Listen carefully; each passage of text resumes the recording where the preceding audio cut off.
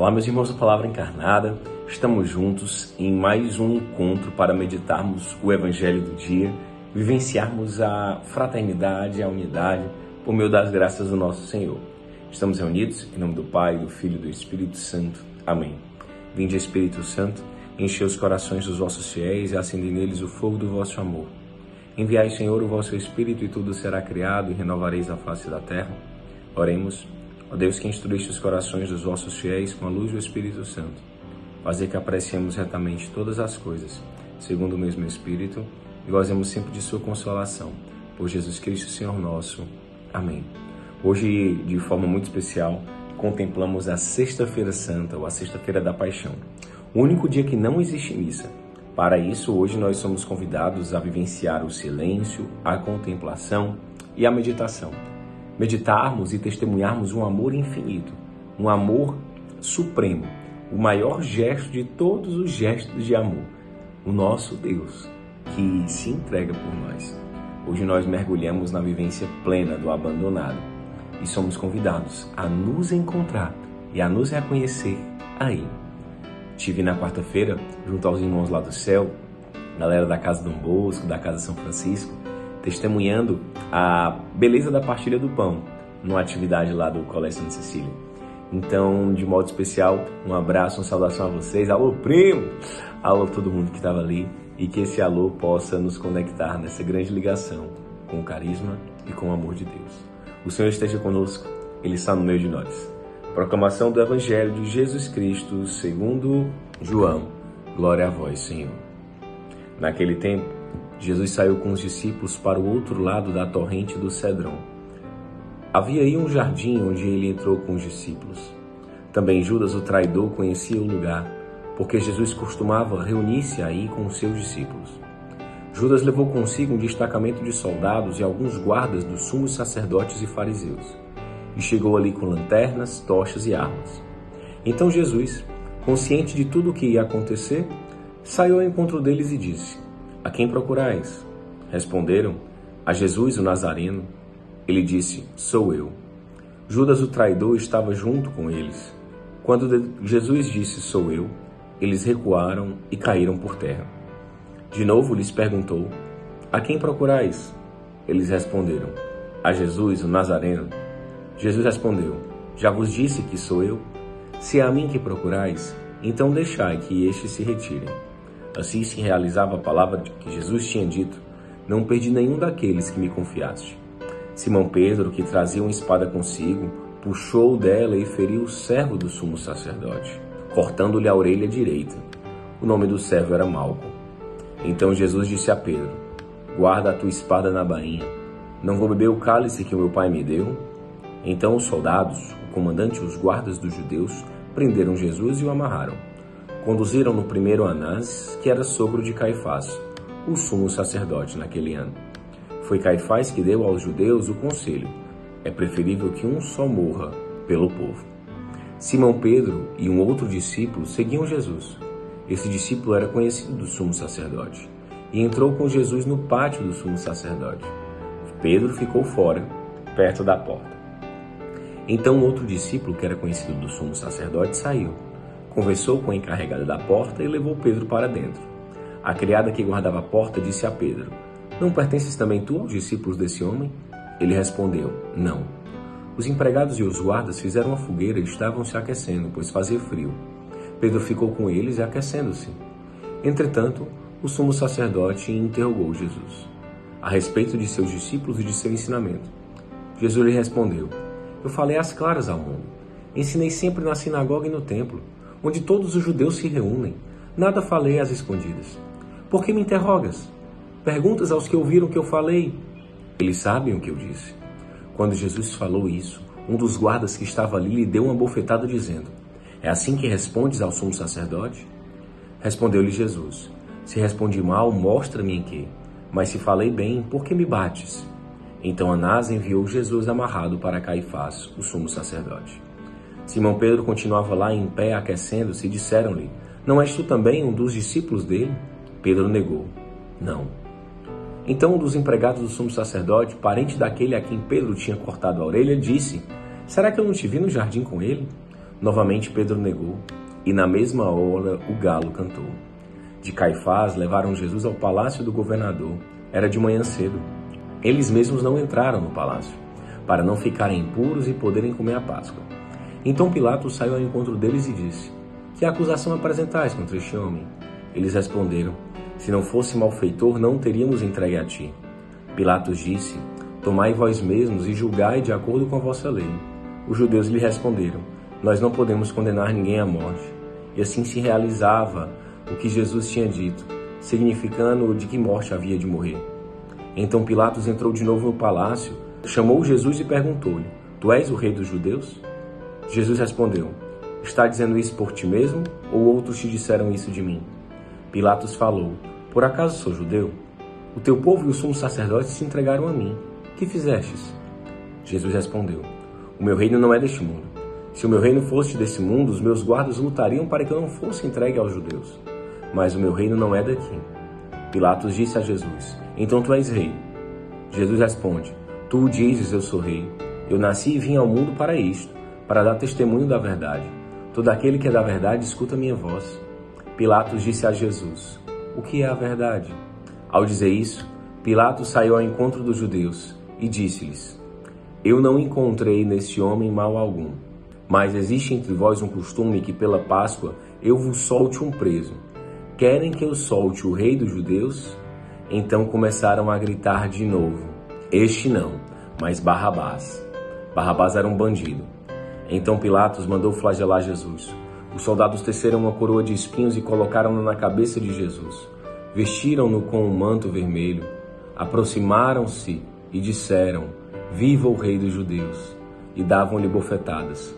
Pilatos saiu de novo e disse aos judeus: Olha, eu trago aqui fora diante de vós, para que saibais que não encontro nele crime algum. Então Jesus veio para fora, trazendo a coroa de espinhos e o manto vermelho. Pilatos disse-lhe: Eis o homem. Quando viram Jesus, os sumos sacerdotes e os guardas começaram a gritar: Crucifica-o, crucifica-o. Pilatos respondeu: Levai vós mesmos para crucificar, pois eu não encontro nele crime algum. Os judeus responderam: Nós temos uma lei, e segundo essa lei ele deve morrer, porque se fez filho de Deus. Ao ouvir estas palavras, Pilatos ficou com mais medo ainda.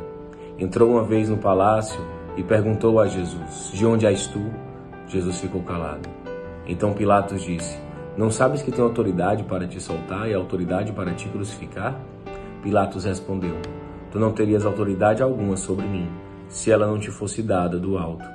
Quem me entregou a ti, portanto, tem culpa maior. Por causa disso, Pilatos procurava soltar Jesus. Mas os judeus gritavam: Se soltas este homem, não és amigo de César. Todo aquele que se faz rei declara-se contra César. Ouvindo essas palavras, Pilatos trouxe Jesus para fora e sentou-se no tribunal, no lugar chamado Pavimento, em hebraico Gábata. Era o dia da preparação da Páscoa, por volta do meio-dia. Pilatos disse aos judeus: Eis o vosso rei. Eles, porém, gritavam: Fora, fora, crucificam. Pilatos disse: Hei de crucificar o vosso rei? Os sumos sacerdotes responderam: Não temos outro rei senão César. Então Pilatos entregou Jesus para ser crucificado e ali o levaram. Jesus tomou a cruz sobre si e saiu para o lugar chamado Calvário, em hebraico Gólgota. Ali o crucificaram com outros dois, um de cada lado, e Jesus no meio. Pilatos mandou ainda escrever um letreiro e colocá-lo na cruz. Nele estava escrito: Jesus o Nazareno, Rei dos Judeus. Muitos judeus puderam ver o letreiro porque o lugar em que Jesus foi crucificado ficava perto da cidade. O letreiro estava escrito em hebraico, latim e grego. Então os sumos sacerdotes dos judeus disseram a Pilatos: Não escreva o Rei dos Judeus, mas sim que ele disse: Eu sou o rei dos judeus. Pilatos respondeu: O que eu escrevi está, que eu escrevi está escrito. Depois crucificaram Jesus, os soldados partiram suas roupas em quatro partes, uma parte para cada soldado.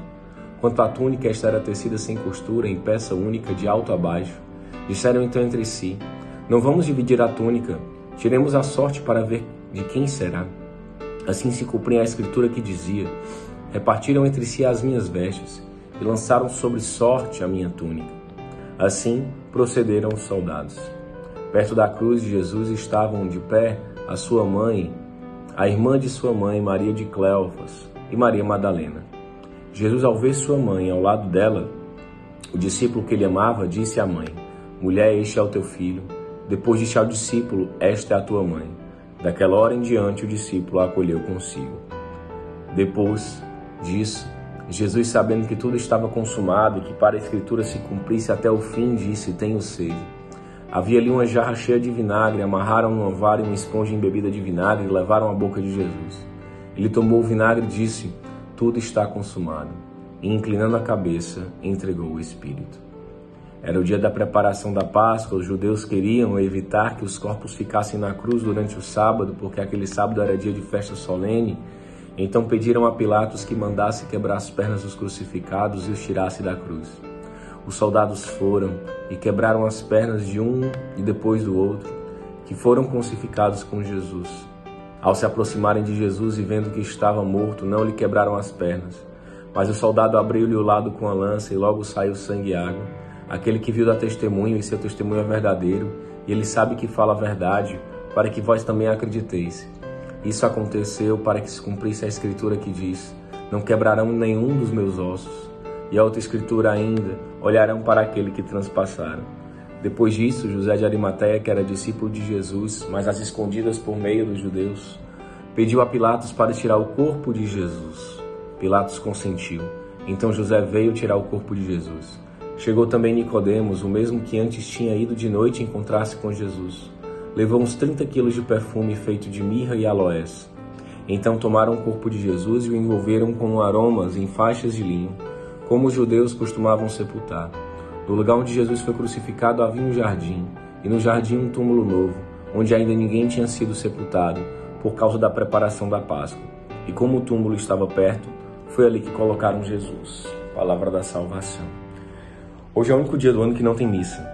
E nós meditamos agora, numa leitura bem extensa, toda a paixão de Jesus Cristo. E a pergunta é: quem somos nós nessa paixão? Será que nós somos os discípulos que fugiram? Será que nós somos Pedro, João, Judas, Maria, Pilatos, Caifás, Anás, Herodes, os ladrões?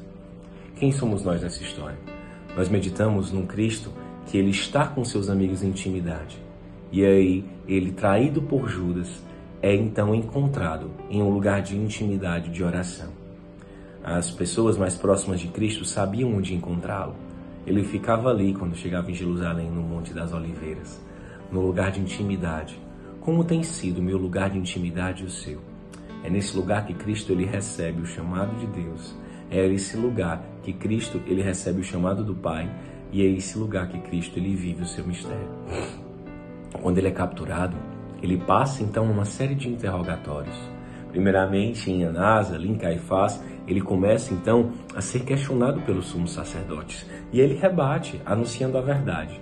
E uma cena que chama a atenção aqui é que quando Jesus responde ao sumo sacerdote, dizendo: Olha, tudo que eu falei para sobre isso eu disse às claras, eu não falei às escondidas. Por que, que vocês estão me interrogando? Ele leva um murrão de um dos guardas. E aí Jesus retruca Ora, esse mesmo Jesus, ele não é ele que diz, quando alguém bater na sua face, ofereça a outra? Por que que quando ele recebe esse murro, ele não vira a face, ele questiona? Jesus, ele conhece o coração do homem. Naquele instante, por conhecer o coração do homem, Cristo, ele sabe que se ele der a outra face, o soldado vai dar um murro ainda maior e vai cometer outro pecado. Cristo naquele momento fala: Se eu respondi mal, me dizem que, mas se eu respondi bem, por que que me bates? Então Cristo ele dá uma um, um citoque, né, um simancol aí nesse soldado, é tanto que ele recua e passa a refletir. Depois dessa série de interrogatórios, que inclusive é totalmente ilegal, os fariseus, os sumos sacerdotes, chamaram sinédrio de madrugada e aí prepararam a condenação de Cristo, que não podia. Depois eles levam Jesus até o governador, né? no caso é o Pilatos. Pilatos ele representava todo o poder romano. A gente está falando aqui na época do Império Romano quando Roma ela se espalha por todos os lugares né, do, do Mediterrâneo e aí eles também dominam a Judéia. E na Judéia a relação com eles era muito ruim com os judeus, porque os judeus não aceitavam, mas ao mesmo tempo praticavam corrupção, porque não queriam enfrentar os romanos, estavam esperando seu Messias. E aí o Pilatos ele era o representante de Roma na Judéia, ele era o pretor, né, era o responsável por toda a justiça, por aquilo tudo mais. E aí ele não encontra em Jesus nenhum mal. E aí muitas vezes eu e você somos esse Pilatos, não é? A gente prefere muitas vezes lavar a mão. a gente prefere não se envolver, não se envolver com a campanha Ser Feliz, não se envolver com o anúncio do Evangelho, não se envolver com os direcionamentos da comunidade, porque é mais fácil. É mais fácil. Que Pilatos até compreende, mas ele não vive o chamado. É, e nesse instante, né, quando antes de Jesus ir para Pilatos, enquanto estava no sumo sacerdotes, Pedro lhe nega Cristo três vezes. Quantas vezes eu e você também negamos o nosso Senhor? Negamos né, aquilo que o Espírito Santo nos conduz e nos orienta pelos direcionamentos. Negamos a vivência do Cristo crucificado com o abandonado, o encontro salvífico do abandonado com o ressuscitado. Muito forte. E quando Pedro nega pela terceira vez, o galo canta. É interessante que muitas vezes eu me, me, vejo muito parecido com isso, né? Eu falo que vou fazer, eu falo tudo aquilo e tal, mas na hora eu não cumpro. Pedro diz: Senhor, eu vou contigo até o final. Jesus fala: Você vai me negar antes do galo cantar três vezes. Né? Antes do sol nascer, né? Você vai me negar três vezes. E o galo canta as três vezes. E na terceira, né? Pedro é, é, é, é na verdade, Pedro nega três vezes e quando o galo canta, né? O galo canta as três vezes para falar justamente sobre isso. Então, é, quando Jesus está diante de Pilatos, Pilatos ele lava as mãos, ele tortura, ele manda né, açoitar Jesus e os judeus fazem essa pressão, os fariseus fazem essa pressão para matá-lo. Ora, nossa lei, ninguém pode, a gente não pode condenar ninguém à morte, mas você pode.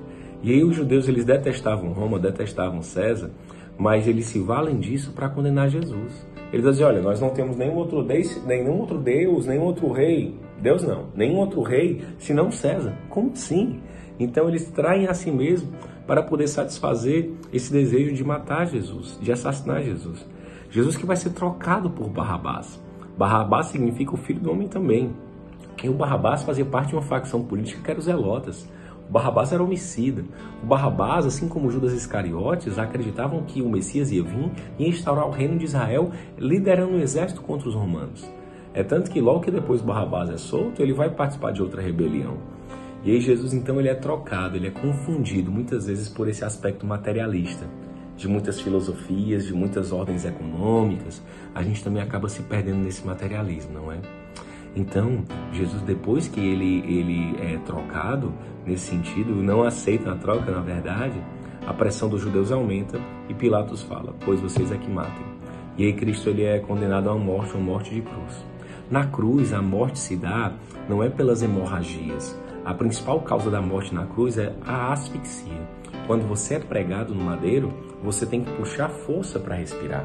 E quando você puxa força, você sente uma dor muito grande nos pregos porque estão nos teus nervos. E é difícil respirar, dói, dói muitas vezes. Puxar força, quando você puxa, você tem que contrair, o, contrair as mãos e contrair os pés. E aí, por isso que as pessoas passavam muito tempo para morrer, porque eram vários dias ofegando até não conseguir respirar mais. Um golpe de misericórdia era quebrar as pernas, porque quando você quebra as pernas, a pessoa não tem força para sustentar, puxar, e aí ela morre logo. Jesus na cruz, ele mostra para a gente toda a nossa fragilidade e todo o seu amor. Cristo ali, né, ele é abandonado, só fica sua mãe, a irmã de sua mãe, Maria Madalena e João, e João, não é João Batista não, é João, discípulo amado.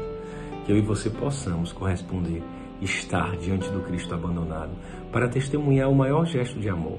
João ali, ele recebe Maria como sua mãe, e Maria recebe João e a humanidade. E é bonita a frase que diz, e a partir dali ele ficou com ela, ele cuidou dela. Jesus no alto da cruz ele diz: Tenho sede. Nós da obra Lumen, nós da nossa comunidade vivenciamos tanto esse mistério, não é, do Emanuel? Tenho sede.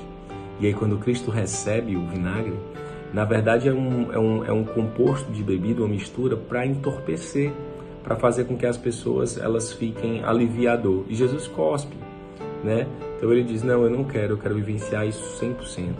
Que eu e você possamos vivenciar 100% o chamado de Deus para nós. E ele fala: Tudo está consumado, né? Eli, Eli, lama sabachthani.